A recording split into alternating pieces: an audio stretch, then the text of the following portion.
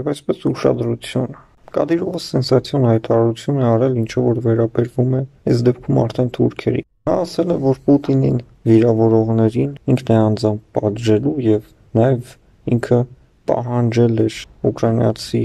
ազգայնականների ղեկավարի գլուխը, որի դիմաց պատրաստվում էր վճարել 500.000 դոլար։ Պուտինի դեմ գործողություններ արել են նաև Ալիևը եւ Էրդողանը իրենց ռազմական մեծ աջակցությունը ցուցաբերելով Ուկրաինային, ինչը որ նաև արհամարանք է ռուսական պետության նկատմամբ Ադրբեջանում եւ Թուրքիայում եւ ամենաշատը շեշտենք Թուրքիայում ընթանում են մեծ բողոքի ակցիաներ ընդդեմ Պուտինի, Պուտինի նկարն են պատրում, Պուտինին վանկարկում են վիրավորանքներ, մի խոսքով Պուտինին փորձում են նվաստացնել իրենց երկրներում, անգամ այրում են Ռուսաստանի Դաշնության դրոշներ եւ այս դեպքում Կադիրով ինչ է պատրաստվում անել, արդյոք նա Ալիևի կամ Էրդողանի հետ զրույց է նախապատրաստում այդ թեմայով եւ որպիսի հանգամանքները ավելի բացահայտ լինեն նրա համար եւ նա որոշի թե իրականում ով կարելի է պատժել ամենաառաջին հերթին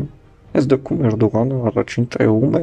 Էրդողանը թուրքերը միշտ էլ չեն ཐակցրել իրենց ատելությունը ռուսների նկատմամբ եւ Էրդողանը ՆԱՏՕ-ի անդամ պետության ղեկավար է եւ Էրդողանը բնականաբար Ռուսաստանի Դաշնության դեմ է, ինչքան էլ որ իրենք այսօր փորձեն ցույց տան, որ չէ, իրենք ոնց կլինի ռուսների դեմ լինեն, նաև պետք է նշենք հետևյալը, որ Էրդողանը եւս Ռուսաստանի Դաշնության հետ լուրջ խնդիրներ է ձեռք բերելու ռազմական սանկցիաներ կիրառելու համար։ Չնայած նրան, որ Թուրքիան ասում է մենք կապ չունենք, մենք դա արել ենք ռուսների շահի համար, ինչ է նշանակում ռուսների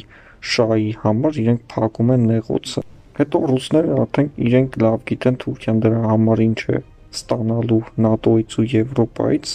եւ Թուրքիան դեռևս ինչեր է պատրաստվում անել Ռուսաստանի Դաշնության դեմ ու Թուրքիան իրենց պատիժը միանշանակ ստանալու են։ Ռուսների համար Թուրքիան գրավելը ավելի հեշտ է, քան Ուկրաինան։ Պետքա դա շատ լավ իմանան թուրքերը։ Թուրքերը այնպիսի դիրքում են գտնվում, որ հենց ռուսները կարող են իրենց ոչնչացնել։ Անկամ թուրքական հողի վրա ոտք չդնելով ուղակի Սև ծովից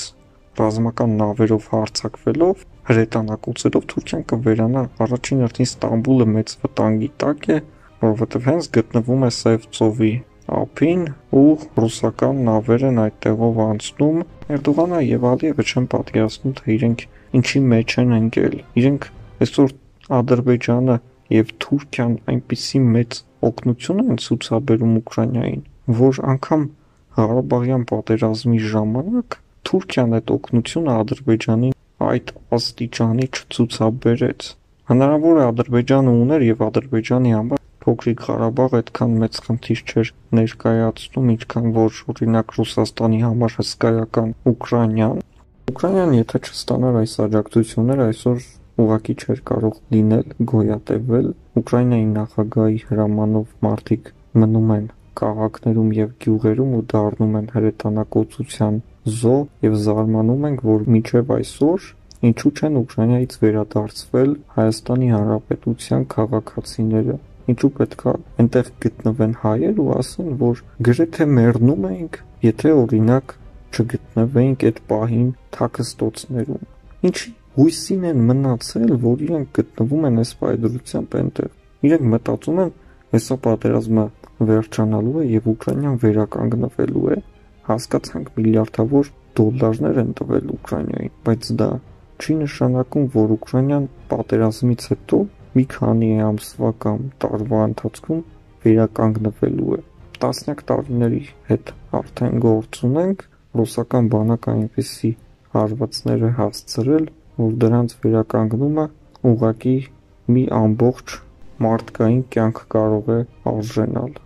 եւ այսպես ուշադրություն։ Թուրք падգամավորը հայտնել է հետեւյալը, որ եթե այսօր Ուկրաինայում ռուսներին չկանգնեցնեն, ապա որոշ ժամանակ անց ռուսական զորքերը հայտնվելու են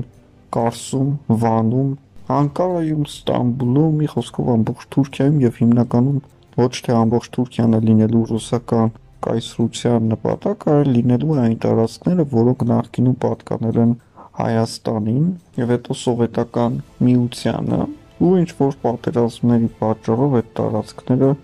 զիջվել է Թուրքիային ու այսօր գտնվում է Թուրքիայի տիրապետության տակ այս դեպքում արդեն ռուսական կողմը մտածելու բան ունի նաև Լեռնային Ղարաբաղի եւ Նախիջևանի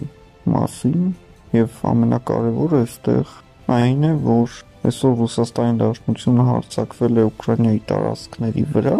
այն դեպքում, երբ Ուկրաինայի տարածքները ամեն ձև պատկանում են միայն եւ միայն Ուկրաինայի ժողովրդին եւ ռուսական զորքերը այնտեղ գտնվելու որևէ իրավունք չունեն։ Եվ եթե Ռուսաստանը այս գործողությունները անում է, ապա առաջինը նա պետք է զբաղվեր իր սարկած խնդիրների լուծումով։ Չէ որ ռուսական կայսրության ժամանակ է հայկական հսկայական պետությունը, այդ որ մենք ունենք Նախիջևան, Լեռնային Ղարաբաղ, Կարասվան, ռուսների ձեռքով այս ամեն ինչը քիչ-քիչ մասնատվեց հայերից, կեսը անցավ թուրքերին, կեսը անցավ մի ուրիշ թուրքերի, որին հետո անվանեցին Ադրբեջան, Ադրբեջանը իրականում Թուրքիայի կողմից այլ անունով ստեղծված պետություն է, որովհետև 100 տարեկան պետությունը չի կարող ունենալ պատմություն եւ այդ տարածքներում այսօր որ ադրբեջանցիների երջանիկ եւ հարուստ ապրում են, այդ տարածքները պատկանել է միայն եւ միայն Հայաստանի ժողովրդին, հայ ժողովրդին ու այսօր աշխարհում որևէ ձայն չի հանում Լեռնային Ղարաբաղում տեղի ունեցածի վերաբերյալ, չէ որ հարյուրավոր խաղաղ բնակիչներ զոհվեցին Ղարաբաղում եւ այդ նույն Անգլիան, որը այսօր միջև վերջ ռուսական տնտեսություն ուզում է ոչնչացնել, չի ցանկանում ադրբեջանական տնտեսությանը հարվածներ հասցնել։ Ռուսական նավատորմեր Սև ծովում լուրջ գործողություններով են զբաղված եւ չի բացառվում, որ մի օր էլ իսկապես հայտնվեն թուրքական ափերին եւ թուրքական ափամերձ քաղաքներ անցնեն ռուսական նավատորմերի հրետանակոծության տակ եւ ռուսական օթային ուժը թռիչքներ իրականացնի Թուրքիայի վրայով եւ հետեւաբար այս ամեն ինչը շատ լավ գիտակցելով թուրքերը իրենք որոշեցին, որ պետքա այս փուլում Ռուսաստանի Դաշնության դեմ որևէ գործողություններ չանեն, քանի որ այդ գործողությունների հետևանքով հնարավոր է մի օր էլ Ռուսաստանը որոշի, որ պետքա հարձակվի Թուրքիայի վրա եւ այդ ամեն ինչը անպայման կլիներ, եթե Ռուսաստանը այս օրերին ռազմական գործողությունների ընթացքում հաղթանակ տոնի դա միանշանակ արդեն տեսանելի է հաղթանակը ռուսական զորքերը գրավել են ուկրաինական մի շարք քաղաքներ շարժվում են մեծ թափով առաջ ու չի բացառվում որ մենք մոտ ժամերին կամ վաղը կամ մյուս օրը ամենա ուշը լսենք, որ Կիևը ամբողջությամբ գտնվում է ռուսական վերահսկողության տակ։ Կիևի գրավումը ավելի շուտ կլիներ, եթե ռուսական հսկայական ռազմական շարասյունը կանգ չառներ եւ դա կանգ է առել միայն այն պատճառով, որ լինի ավելի վստահ բանակցություններ եւ ավելի ճիշտ կլինի այդպես եւ բանակցություններից Զելենսկին օգտվում է